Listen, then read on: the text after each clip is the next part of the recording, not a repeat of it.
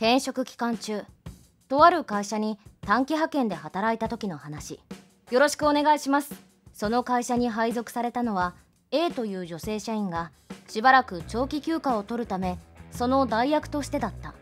A とは引き継ぎのため1週間ほど同じ仕事をした。ただ俺が派遣であるためか妙に偉そうだった。ちょっとあんまり近寄んないでくれる？すすみません。しかも周りの社員は妙に A をちやほやしていた。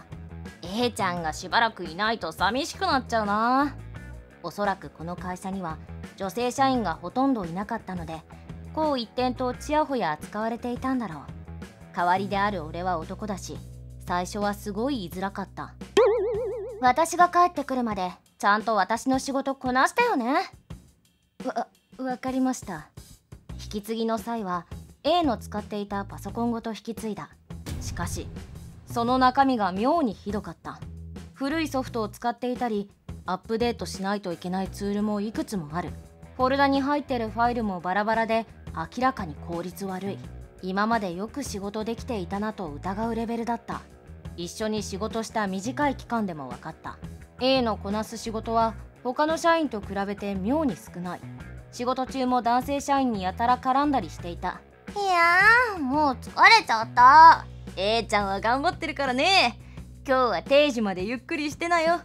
周りにちやほやされていたせいで A の少ない成果は多めに見られていたんだろう。俺は A へのちょっとした復習でこのポジションを一気に塗り替えてやろうと思った。パソコンの中も効率よく作業しやすい環境に整えて仕事を一気にこなしていった。こちら終わりました。もう終わったのか。早いな次はこれとこれを頼むよ。わかりました。仕事を素早くこなすにつれ元 A のポジションには以前より多くの仕事が増えた。また周りの人からも認められ始めた。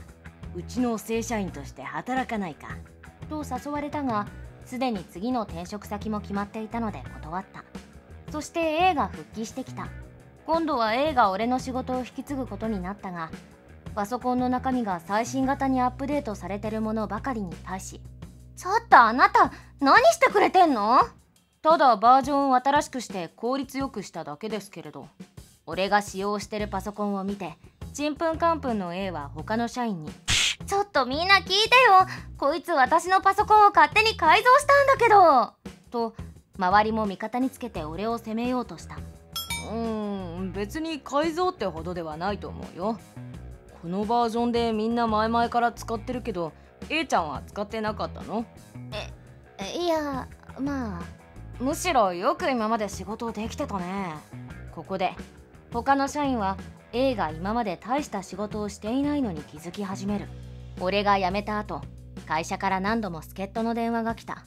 俺がこなしてきた仕事量を当然 A はこなせるわけもなく人手が必要だったのだろう最初は予定もあったので断ったがあまりにもしつこかったので予定の空いてる土日だけ緊急で出ることにした。出勤してみると A に対する周りの態度は以前より急変していた。A ちゃん例の資料まだ？いつまでかかってるの？すすみません。明日まで終わりそうにないです。嘘！そんなかかる仕事じゃないよそれしばらく休んでたから気が抜けてるんじゃないの？いやもともとそんなスキルなかったのかもね。と A の無能さが徐々に暴かれてたみたい。くそー。A の態度もひどいが何よりこの職場が今まで A を甘やかしていたのが原因だろう。こう一点の女性社員とはいえ会社は仕事をする場所。いざ忙しくなった時は周りはそんなことは気遣っていられない。ちやほやされて周りに甘えてばかりの人は気をつけよう。ご視聴ありがとうございました。また見てね。